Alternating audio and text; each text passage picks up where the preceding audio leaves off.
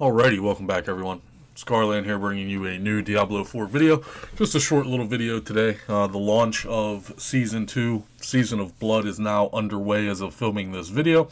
And of course we have another round of Twitch drops. So these are all, of course, just cosmetic items. Um, this is the Orichalcum collection, uh, the Cum collection basically. Good old Cum collection, you'd love to see it. Um, so starting again, October 17th, uh, which as of filming this video is today, and then four weeks of Twitch drops.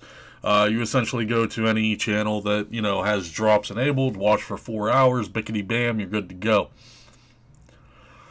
Week one, we have the Necromancer, Rogue, and Sorcerer. It's just a sword.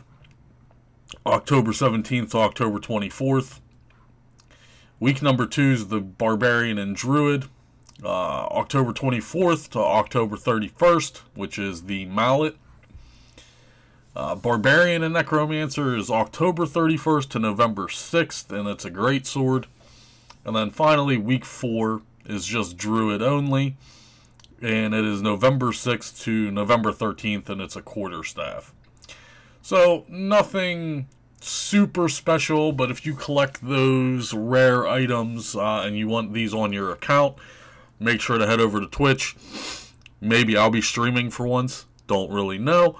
Uh, and yeah, go ahead and grab the Cum collection, guys. Uh, that's all I got for you. Hopefully you enjoy the video.